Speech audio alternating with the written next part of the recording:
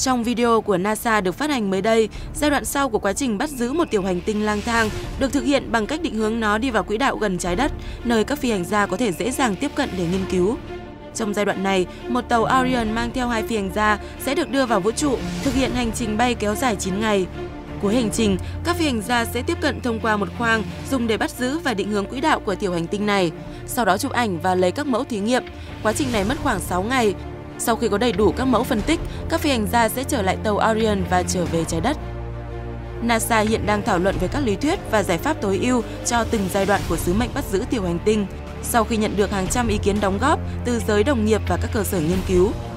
Cơ quan này cho rằng có thể một ngày nào đó, các tiểu hành tinh sẽ là nguồn cung cấp dồi dào về những nguồn nguyên liệu khan hiếm nếu như khắc phục được những trở ngại về tài chính và khoa học kỹ thuật. Dự kiến, chi phí thực hiện nhiệm vụ táo bạo này của NASA sẽ vào khoảng 2 tỷ đô la Mỹ.